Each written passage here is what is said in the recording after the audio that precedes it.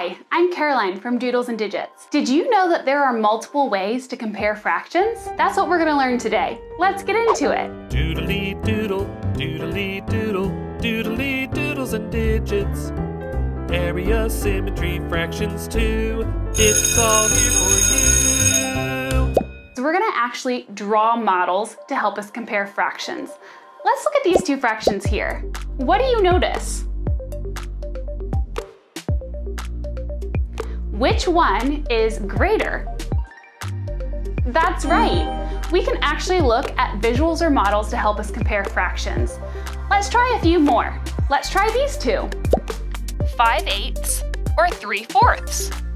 That's right. All right, let's look at one more. 3 eighths or 1 half.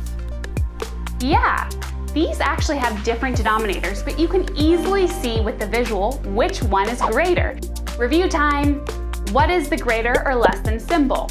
This is the greater than symbol, and this is the less than symbol. How can you remember which one's greater than or less than? Some people like to think of the opening as a mouth and eat um, um, um, the bigger number. Do you need other videos talking about fractions? Check out our other videos on our channel. We also put new videos out every month, so make sure you're subscribed. Bye!